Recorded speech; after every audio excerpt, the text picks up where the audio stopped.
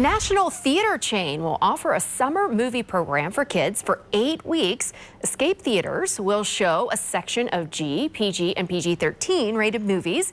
They will be shown on Tuesday and Thursday mornings at 9.30. Admission is free. The first movie is Minions, The Rise of Gru. There is an Xscape Theater there at I-64 and Blankenbaker in Middletown.